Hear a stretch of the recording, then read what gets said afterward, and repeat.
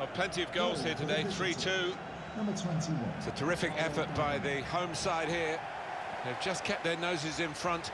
Oh, chance! Great save by a diving goalkeeper. And it's back for another corner. Well, here we can see Firmino! The goalkeeper with a textbook save keeps the ball in his grasp.